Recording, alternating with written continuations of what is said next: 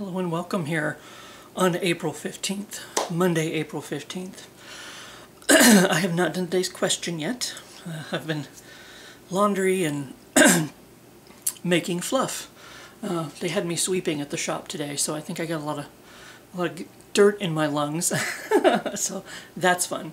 Um, but yes, we are having a potluck dinner tonight at work. And uh, my friend Jennifer shared a. I had heard about, because um, I do the cookie fluffs and the, the random fluffs and the whatever. In fact, I'm pretty sure I did an orange fluff, some kind of orange with like the mandarin oranges and stuff once. Um, I have like a whole playlist, this will be on it, of the different cookie or dessert fluffs that I have made. I had heard about using pie filling to um, to make one of these, you know, sort of fluffs. Um, so I decided to give this one a try since it was, you know, kind of curious to see how it would work out. Um, I changed a little bit. I was forced to change a little bit of of the recipe um, that she shared with me, but because um, sometimes it was calling for like uh, with whipped cream it still wanted eight ounces of whipped cream, no matter what. And like I said, I've started cheating and using the whipped uh, cream cheese so that, you know, when you get it, it's just ready to go. You know, you don't really, I mean, you don't really have to wait for it to, th this thaws out a lot faster than a block of cream cheese does. I learned that trick from uh, my mom. She suggested it once when I was trying to make a last minute cookie fluff for whatever party we were having that weekend. So it wanted eight ounces of cream cheese, but then it only wanted like like a fourth a cup of milk or whatever. And usually for my cookie fluffs, I use like three cups of milk because I make a lot.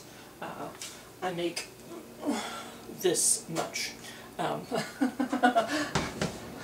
I make a lot because I want to make sure there's you know enough for everybody. Um,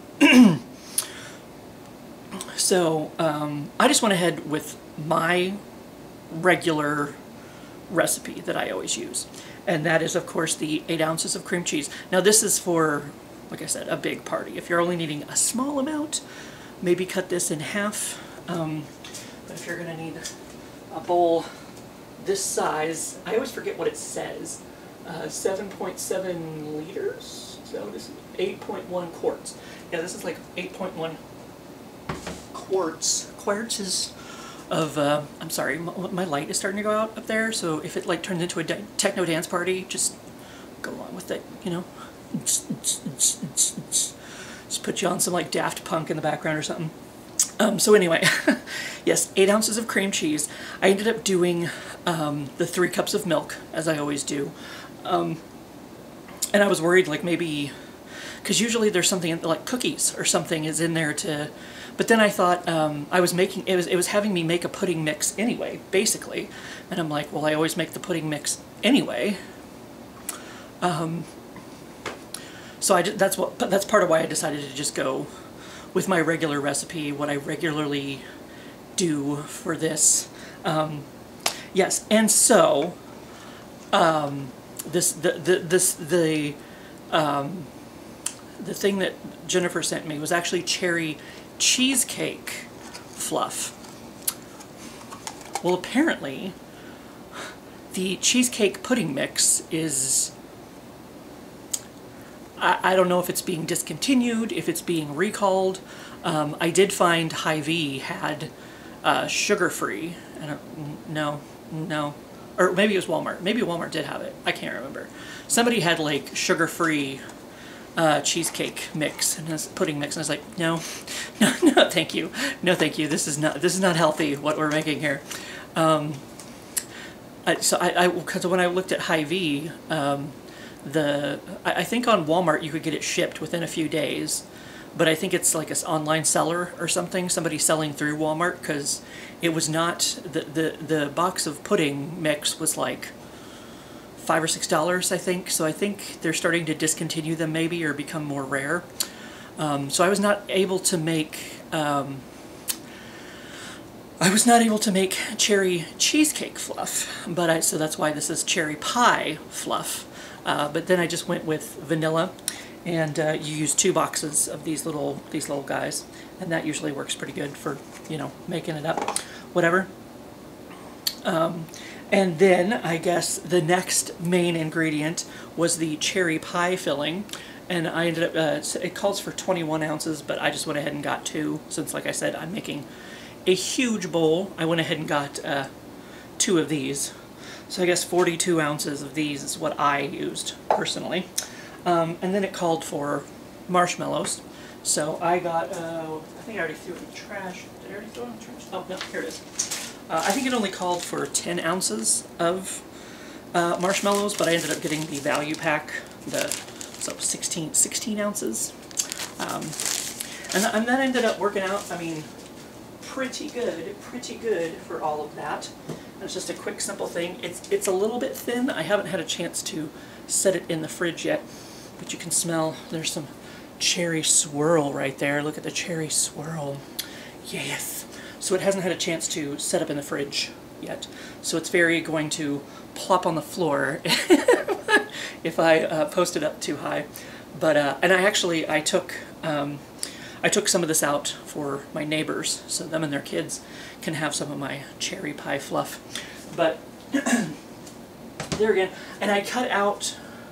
Um, they suggested. Um, um, oh yes, and I, for, I forgot the eight the the the, uh, the thirty two sixty four uh, thing of Cool Whip, whatever. Um, like two two of the big the big things. Right now I have water in this one.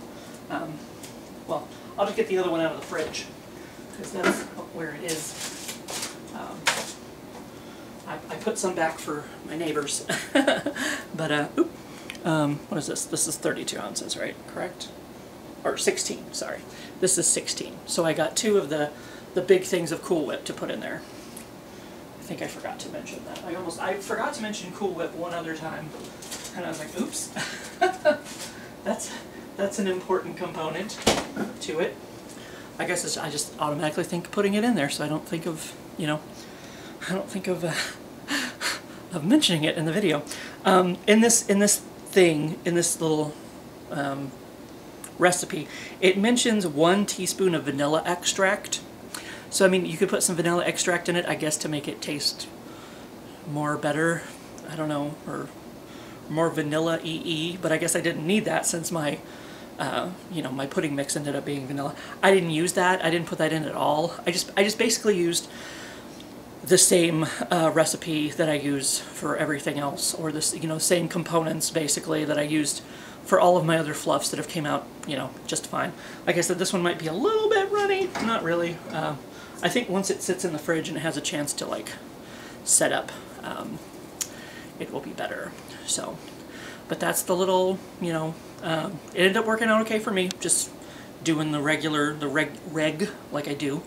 Um, because yeah, like I said, I was worried putting so much milk in it. I'm like, is this going to be a little bit runny? Or like usually there's cookies or something in there to soak up the extra. But I guess that's maybe what the marshmallows are for. So, um, but from what I've been able to like, you know, lick off the spoon and everything, um, it tastes pretty cherry. It tastes pretty cherry, cherry vanilla. So if you're into cherry vanilla, here's your kind of fluff. And I mean, I, I don't know. Part of me, of course, I was doing this at the last minute anyway but it's like uh, I almost wanted to put maybe more components in there, like maybe some get like a like a pie crust or something and crumble it up in there, or maybe crumble it over the top. I don't know. There's different things I guess that you could do if you wanted to like make it actual uh, cherry pie. Like I said, that was supposed to be cherry cheesecake, and um, the cheesecake pudding mix was not available, so I did with what I had to do. Um, yeah, I'll put the recipe down below um, in the in the thing, as I always do. And uh, now I think I'm going to sit down and answer the question before, uh, oh, it's like 4 o'clock in the afternoon. That's rude. Um, getting some sleep before work so I can take my cookie fluff and get this in the fridge so that it can set up. So anyway, that's that, and I'll see you for what I see you.